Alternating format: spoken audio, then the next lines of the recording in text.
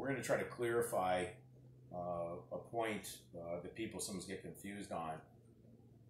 When you're when you're in the legal sandbox of make believe of man, management, okay, they uh, they basically can confuse you because they're using terms that seem so close to truth.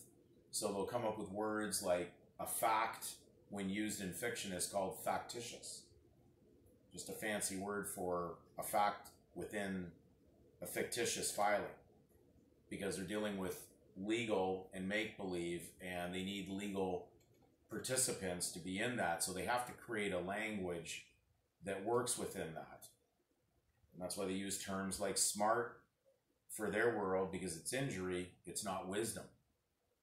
Uh, don't confuse wisdom with being smart.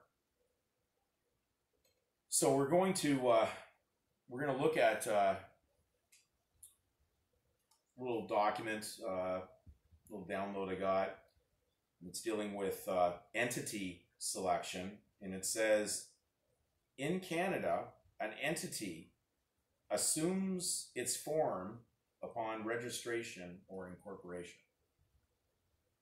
Okay, that's why the parents are informants because they create, they fill in the form, but they're putting in the form. The form is the formation, the army name, the arms name, the surname. And they need that because they can't have a legal entity exist without a legal surname. And that's why most of the modern statement of birth records filled out by the parents, and if you look really close, because they put it in tiny print, it'll have legal surname, but it won't say legal given name. There's a reason for that.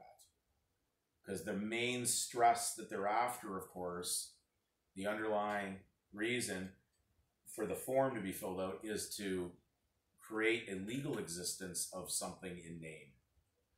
So we're going to go to uh, a book.